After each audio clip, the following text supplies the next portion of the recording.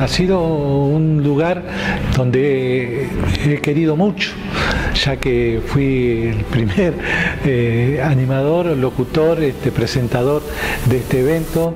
30 años, cuando miras para atrás, es mucho tiempo, pero parece como que fuera ayer también, porque se ha podido mantener en el tiempo, eh, ha dado sus frutos, un canal de participación de todos los chicos, despertó un montón de, de cosas crear, eh, juntarse con otros pares, despertar este, capacidades eh, que por ahí no la tenían.